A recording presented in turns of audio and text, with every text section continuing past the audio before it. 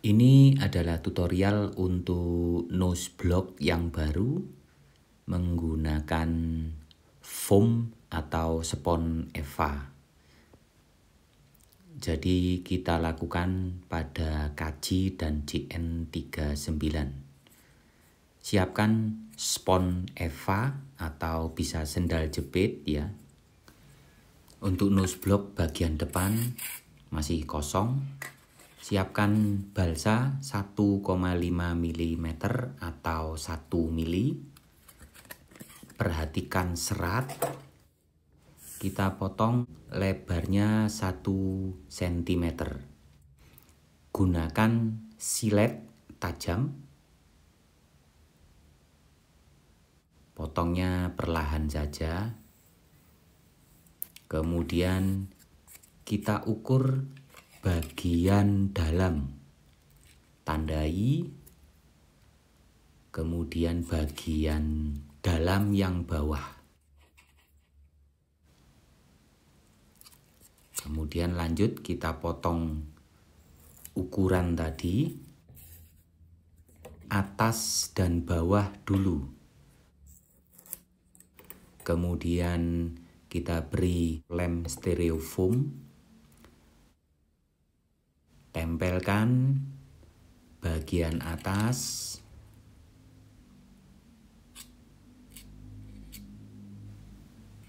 Kemudian beri lem stereofoam bagian yang satunya. Tempelkan di bagian bawah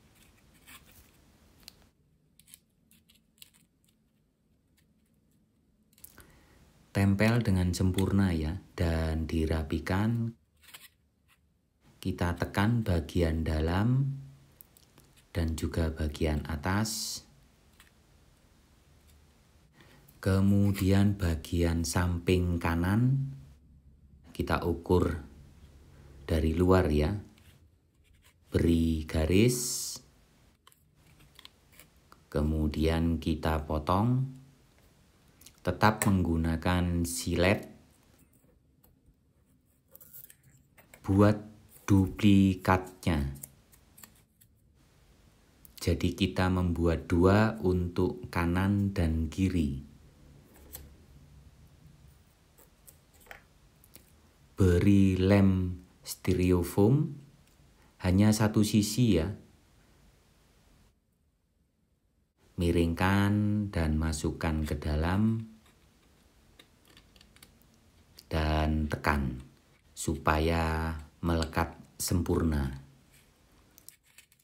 Satunya lagi yang bagian kiri miringkan dan tekan dengan lembut. Kita lihat apakah sudah sempurna kita beri tetesan lem G sangat sedikit sekali. Jangan sampai terlalu banyak sehingga mengenai polifoam dan mengakibatkan polifoam meleleh. Setelah itu kita amplas. Ini untuk meratakan bagian depan. Dengan balsa yang sama, kita ukur lebar bagian luar untuk nose blocknya. Kita potong, usahakan sepresisi mungkin. Kita lihat tinggi nose block juga. Kita ukur garisi dan kita potong. Ini kita butuh tiga sheet atau tiga lembar untuk balsa 1,5 mm perhatikan seratnya yang tengah seratnya silang. Kita rapikan,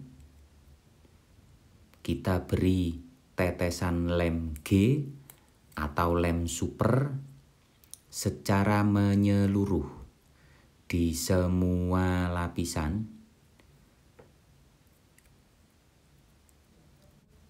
Tunggu hingga benar-benar kering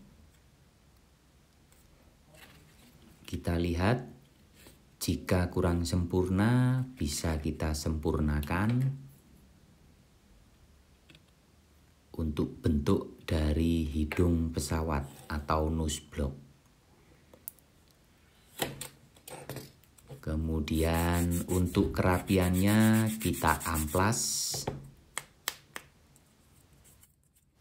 Kemudian kita cek sekali lagi. Ada yang masih kurang jadi harus kita amplas lagi bagian yang menonjol. Dicek sekali lagi untuk kerapiannya.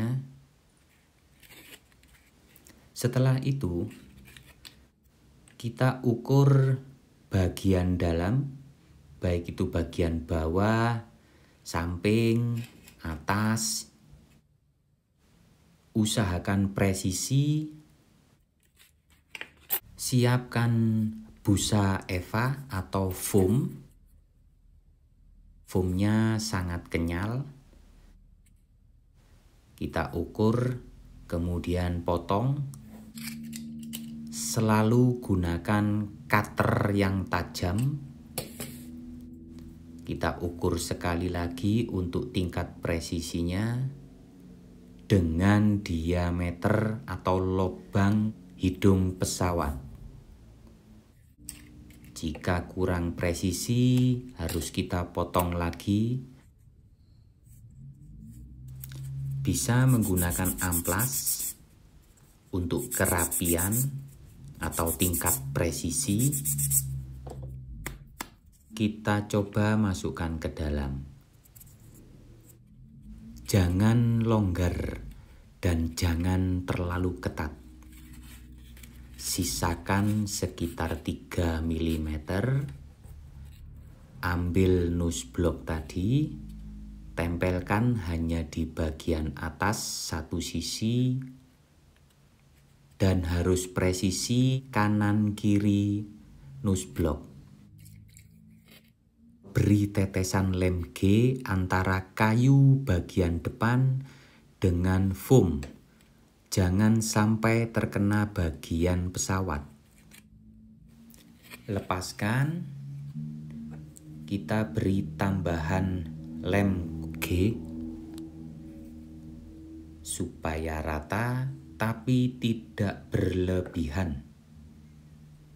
Karena foam menjadi kaku. Kita coba jika tidak bisa masuk dengan sempurna, maka harus kita potong sedikit sekali dan sangat hati-hati. Ini adalah lem yang mengeras. Gunakan cutter untuk bagian ini. Harus rapi karena untuk presisi nose block.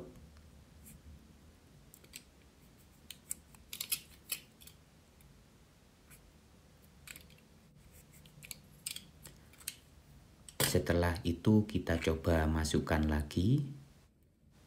Nah sudah presisi tidak longgar kita amplas kita sesuaikan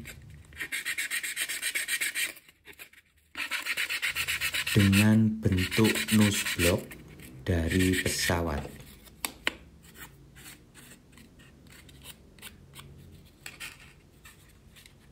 Jadi tidak longgar juga tidak terlalu ketat.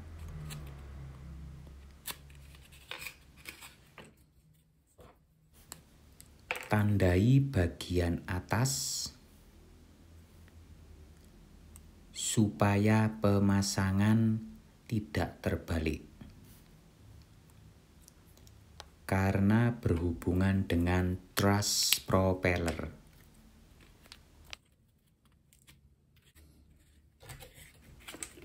Siapkan bambu yang ukurannya sama dengan biring.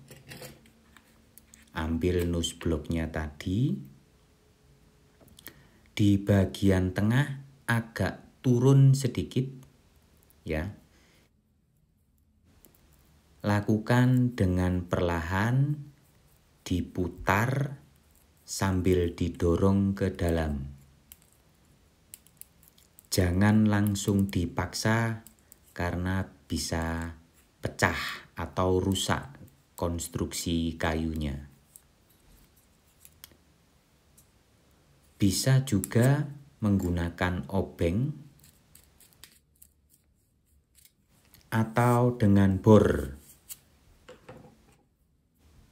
Setelah itu, pasang biring tersebut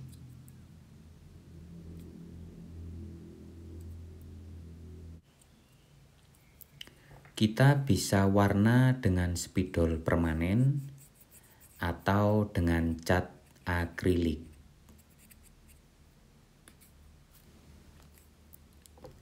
Siapkan kawat, kita masukkan dari belakang. Kemudian kita tambahi manik-manik atau washer. Kita pasang propeller atau baling-balingnya.